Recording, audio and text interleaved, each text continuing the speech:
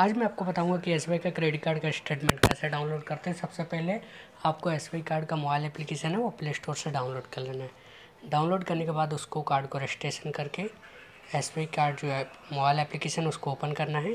देखिए ओपन हो गया है। ओपन होने के बाद ये देखिए आपके कार्ड की डिटेल्स यहाँ पर शो हो जाएगी।